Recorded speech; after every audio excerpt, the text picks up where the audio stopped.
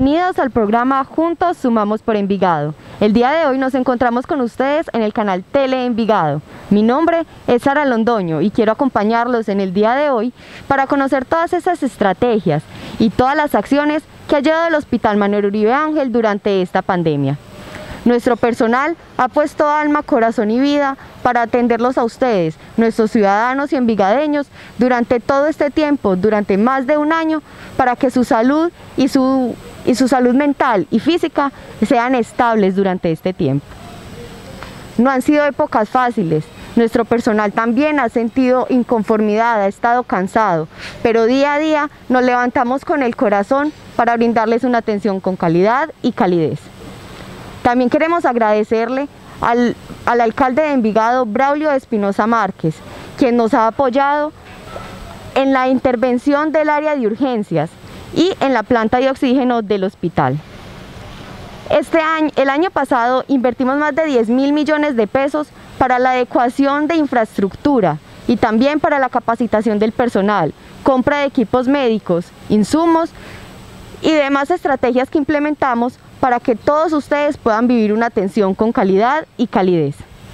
Quiero, invitarlos a que conozcamos a Mariana Villa. Ella es psicóloga del Hospital Manuel Uribe Ángel y nos acompañará contándonos esas estrategias que desde atención al usuario hemos vivido. Mariana, buenas tardes y bienvenida.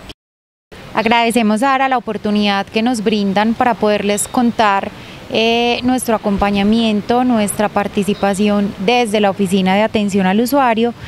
Gracias a, la identificación de todas esas necesidades que fueron surgiendo, eh, la oficina desplegó eh, desde el área de talento humano y mercado de ventas el programa de Cuidando la Salud Mental del Cuidador, donde incluíamos a todos los funcionarios, el acompañamiento a los funcionarios y a las familias eh, de todos estos pacientes, eh, donde de manera muy cercana eh, hacíamos el acompañamiento desde brindarles la información del estado de salud de sus seres queridos y el acompañamiento a todas estas situaciones mentales y emocionales que fueron surgiendo de los funcionarios.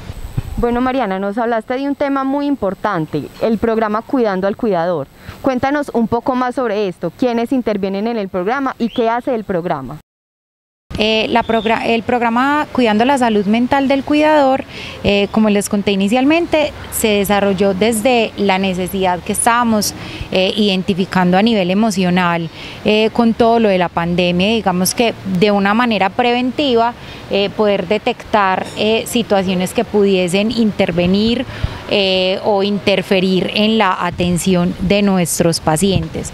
Entonces nos apoyamos con el equipo de psicología, con el equipo de psiquiatría, eh, con la ARL Sura eh, y con el área de talento humano. Entonces allí los funcionarios podían acceder eh, a una cita directa con alguno de los psicólogos. nosotros hacíamos fuera los primeros auxilios psicológicos, el apoyo emocional y el desarrollo e identificación de estrategias de afrontamiento y hacíamos el acompañamiento, igual que con las familias.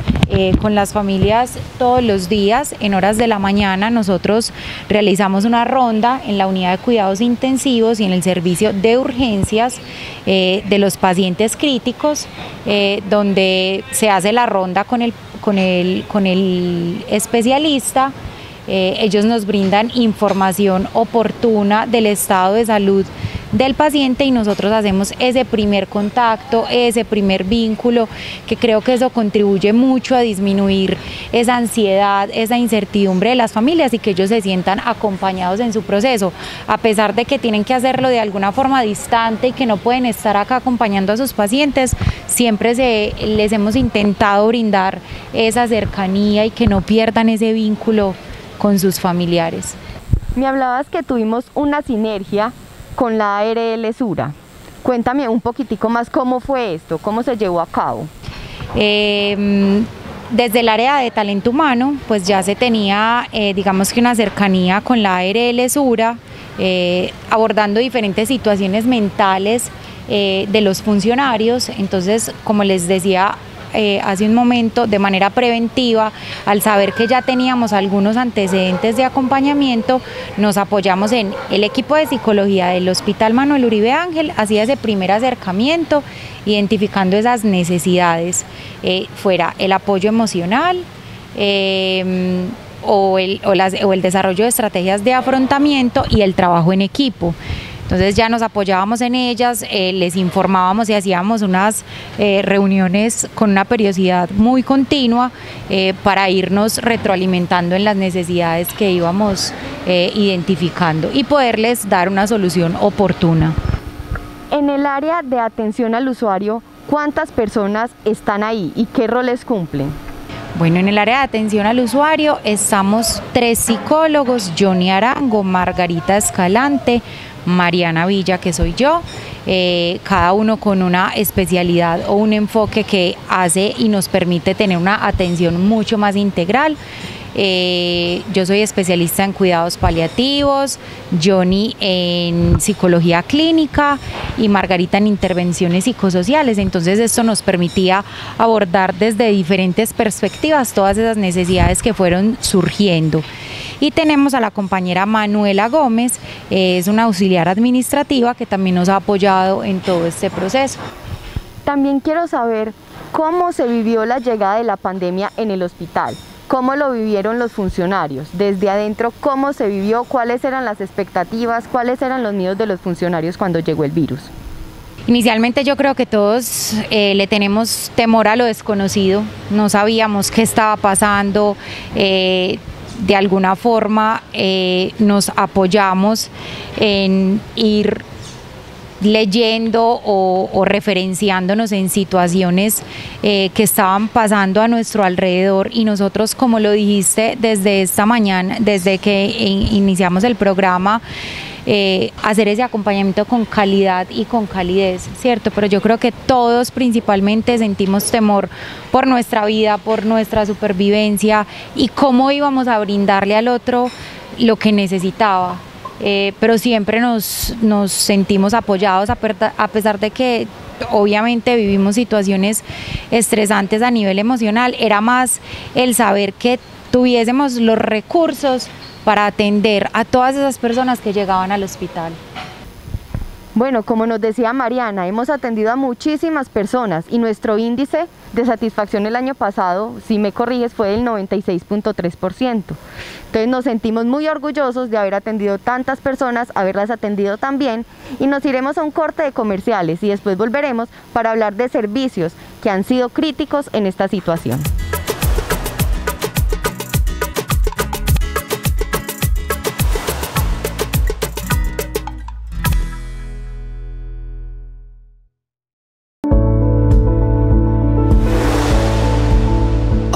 Cumpleaños número 246 de este hermoso municipio que habitamos, valoramos cada detalle que ha sido partícipe en la construcción de su historia, cultura y territorio. Nos sentimos afortunados porque es una ciudad forjada con pujanza y nobleza, que conserva en sus calles la memoria de un antaño y en sus monumentos erige con orgullo la historia de un pueblo arriero, perseverante y con calidad de vida. Qué bello es recordar esos lugares llenos de fe, cultura y riqueza natural, unos testigos de la vida de muchas generaciones y otros muestras del progreso de un territorio, el cual ha estado habitado por gente buena y trabajadora, herederos de un legado de ciencia, deporte y arte. Valoramos la riqueza gastronómica, ambiental y humana que nos rodea, esa exquisita morcilla, la quebrada la llorá, las flores, el carriel, el tiple, las palomas, la ceiba, nuestra diversidad y nuestros silleteros. Hoy 14 de julio nuestro municipio, Envigado, cumple 246 años de fundación. Una fecha importante para resaltar todas las generaciones que le han aportado al cambio significativo en la calidad de vida de los envigadeños. Envigado no solo es el territorio que habitamos, es nuestro hogar, nuestra riqueza y gran orgullo. Qué lindo es Envigado. Juntos sumamos por Envigado.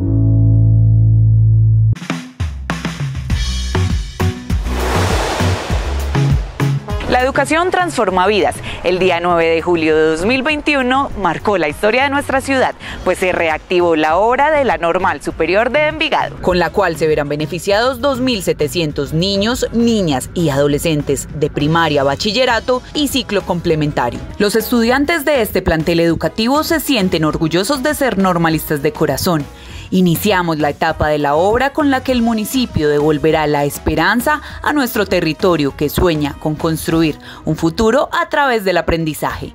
La obra está contratada para terminarse en 13 meses. En julio del otro año, agosto, para disponer la fecha precisa, me corrige la directora si me equivoco, agosto más tardar del otro año, debemos de estar inaugurando normal. Después de haber esperado por cuatro años, esperamos finalmente poder tener nuestra institución para que podamos disfrutar, crear nuevos momentos y recuerdos que son tan importantes para nosotros y más como institución tan grande, volver a vernos todos juntos en un solo lugar. En Envigado sumamos esfuerzos para que con la construcción de la Normal Superior de Envigado se pueda haber materializado el proyecto de su nueva sede. Juntos sumamos por Envigado.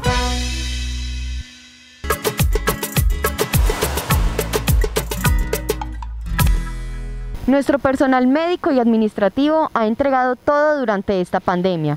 Sin embargo, sabemos que hay áreas con mucho más con mucho más riesgo, como lo es urgencias y cuidados intensivos.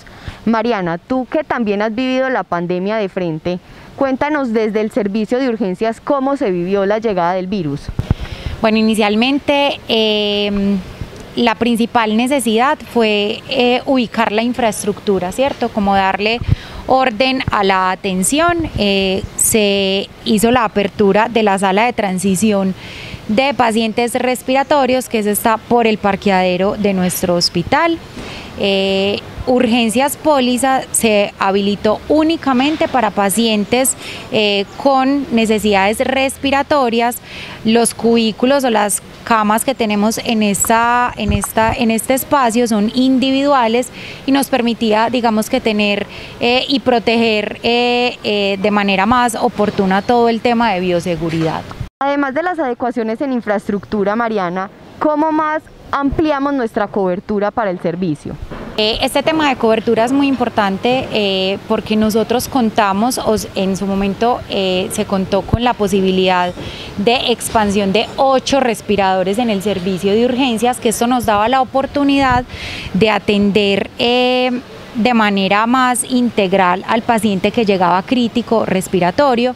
De hecho, nosotros al contar con esos ocho respiradores podíamos tener pacientes críticos intubados hasta el momento que tuviésemos disponibilidad en, las, en las unidades de cuidados intensivos. Eh, también se hizo eh, una alianza eh, con el coordinador de hospitalización, donde se ampliaron servicios para tener pacientes también con cuidado hospitalario eh, en nuestra institución. Tú desde el área de atención al usuario, ¿cómo ayudas a las familias que tienen un paciente en urgencias? Bueno, nosotros eh, al igual que en la unidad de cuidados intensivos, eh, realizamos una ronda a las 2 de la tarde, donde después de pasar con los médicos que tienen asignados a sus pacientes, eh, salimos al área externa de urgencias a brindarle información a la familia y un tema también como de educación, Sara, aprovecho para contarles, eh, pues porque habían momentos muy coyunturales donde entendemos el desespero de las familias y la necesidad de conocer el estado de salud de sus seres queridos, pero entonces eso nos ponía en riesgo de tener aglomeraciones en la, en la entrada. Entonces, de alguna forma nos permitió también acercarnos a las familias, educarlas y que confiaran en nosotros, en el acompañamiento que les estábamos haciendo y ellos ya sabían que después de las 2 de la tarde nosotros, el equipo de atención al usuario de psicología, se comunicaba con ellos y resolvía esas necesidades específicas. Eh, también se desplegó... Em, actividades o estrategias para la entrega de las de las del aseo personal, de los utensilios de aseo personal de los pacientes. Entonces también teníamos asignados todo un día en el servicio de urgencias eh, una persona que recibía e ingresaba al servicio todo lo que el paciente necesitara para que la familia no tuviera que exponerse innecesariamente.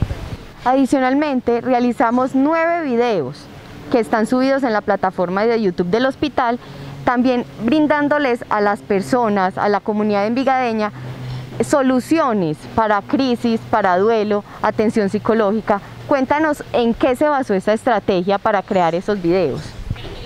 Eh, precisamente en esas necesidades y en esa educación que, de pronto detectamos que nos hacía falta y que nos permitiera ese vínculo entre el hospital y las familias, eh, que de pronto de una manera más asertiva pudiésemos ir desplegando todas esas necesidades que íbamos descubriendo, eh, esto con el único fin de seguirlos acompañando y de brindarles un acompañamiento con calidad eh, y con calidez. Es muy importante eh, que los visiten, que, que entren a nuestra página, que tengan acceso a esta información porque de ahí se pueden eh, mitigar muchas dudas que de pronto generan ansiedad e incertidumbre en las familias. Es un material realmente muy valioso.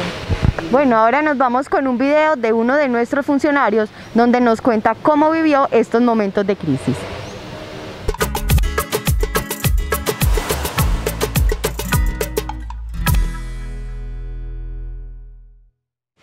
Hola, buenos días. Mi nombre es Ana Carolina Mejía, soy médica del Servicio de Urgencias del Manuel Uribe Ángel.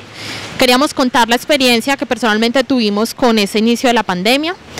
Eh, fue algo muy angustiante. Inicialmente mientras estaba toda la preparación, todos teníamos dudas, inquietudes, sentimiento de incertidumbre Afortunadamente en el hospital tuvimos ese apoyo, eh, no solamente de la preparación con los insumos y los espacios, sino también esa parte psicológica en la cual todos nos vimos afectados.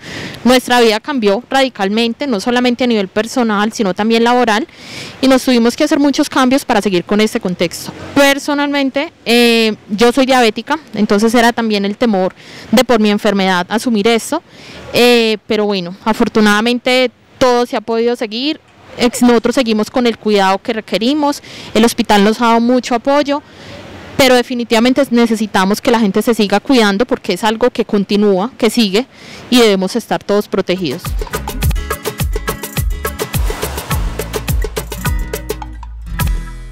Volvemos nuevamente al programa Juntos Sumamos con Envigado de la Alcaldía de Envigado. El día de hoy estamos tratando el tema del Hospital Manuel Uribe Ángel y las acciones y las estrategias que ha vivido durante esta pandemia.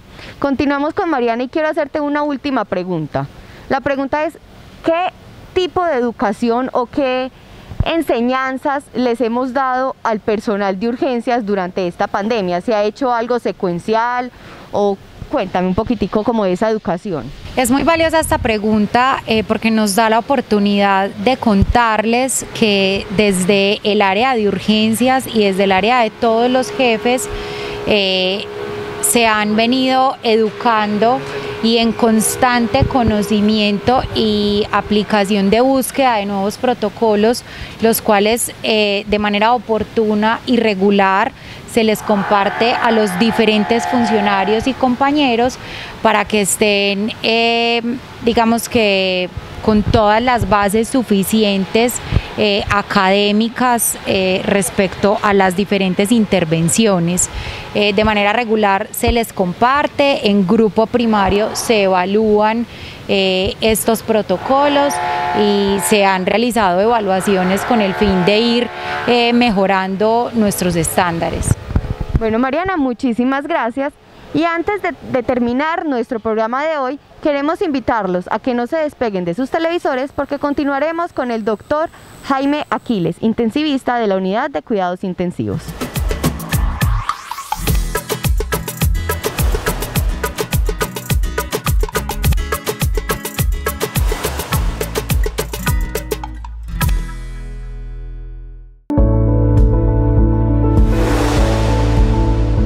Cumpleaños número 246 de este hermoso municipio que habitamos, valoramos cada detalle que ha sido partícipe en la construcción de su historia, cultura y territorio. Nos sentimos afortunados porque es una ciudad forjada con pujanza y nobleza, que conserva en sus calles la memoria de un antaño y en sus monumentos se erige con orgullo la historia de un pueblo arriero, perseverante y con calidad de vida. Qué bello es recordar esos lugares llenos de fe, cultura y riqueza natural, unos testigos de la vida de muchas generaciones y otros muestras del progreso de un territorio, el cual ha estado habitado por gente buena y trabajadora, herederos de un legado de ciencia, deporte y arte. Valoramos la riqueza gastronómica, ambiental y humana que nos rodea, esa exquisita morcilla, la quebrada la yurá, las flores, el carriel, el tiple, las palomas, la ceiba, nuestra diversidad y nuestros silleteros. Hoy 14 de julio nuestro municipio, Envigado, cumple 246 años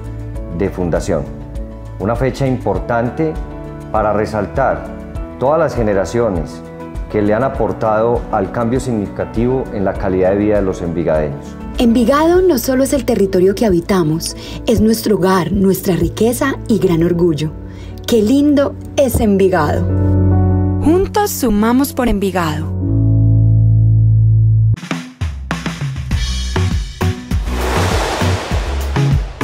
La educación transforma vidas. El día 9 de julio de 2021 marcó la historia de nuestra ciudad, pues se reactivó la obra de la Normal Superior de Envigado, con la cual se verán beneficiados 2.700 niños, niñas y adolescentes de primaria, bachillerato y ciclo complementario. Los estudiantes de este plantel educativo se sienten orgullosos de ser normalistas de corazón Iniciamos la etapa de la obra con la que el municipio devolverá la esperanza a nuestro territorio que sueña con construir un futuro a través del aprendizaje.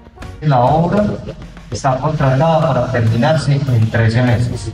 En julio del otro año, agosto, para disponer la fecha precisa, me corrige la directora si me equivoco, agosto más tarde del otro año, debemos de estar inaugurando normal. Después de haber esperado por cuatro años, esperamos finalmente poder tener nuestra institución para que podamos disfrutar, crear nuevos momentos y recuerdos que son tan importantes para nosotros y más como institución tan grande, volver a vernos todos juntos en un solo lugar. En Envigado sumamos esfuerzos para que con la construcción de la Normal Superior de Envigado se pueda haber materializado el proyecto de su nueva sede. Juntos sumamos por Envigado.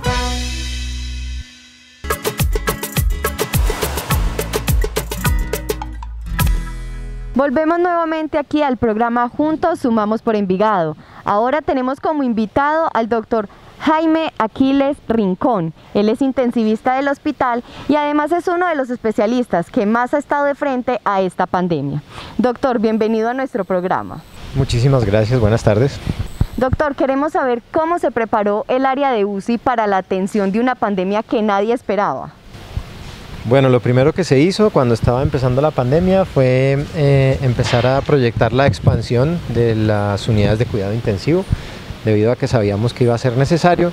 De ese modo ya cuando empezaron a llegar los pacientes ya estábamos preparados, ya teníamos una expansión importante sobre las 14 camas de cuidado crítico que había inicialmente antes de la pandemia, ya pudimos abrir, abrir 20 unidades más.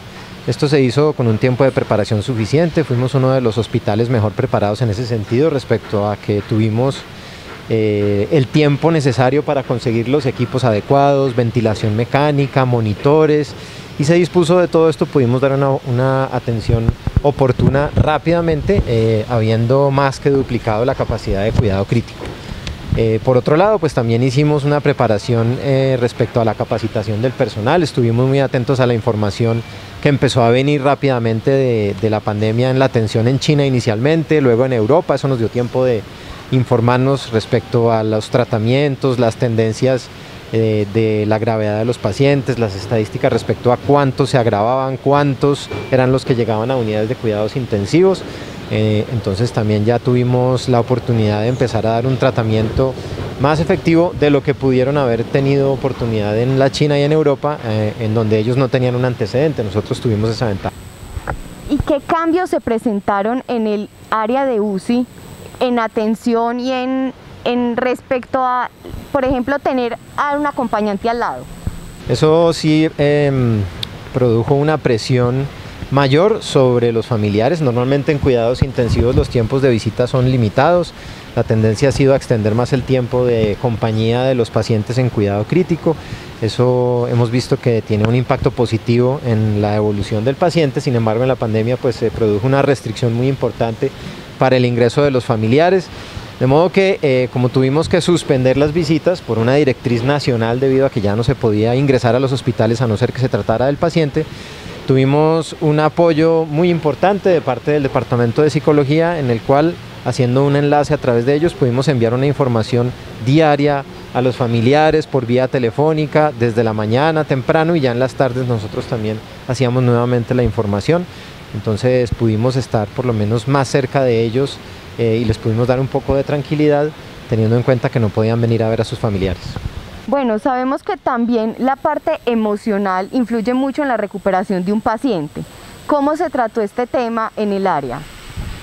La parte emocional con un paciente de cuidado crítico es súper importante, es un evento muy difícil para la vida de una persona, es un evento en el cual eh, está en una situación en la que está en riesgo de fallecer, este, durante ese periodo de tiempo además está bajo sedación, hay, hay momentos en los que se disminuyen los niveles de sedación y los pacientes empiezan a despertar, tienen periodos de desorientación, agitación, etc.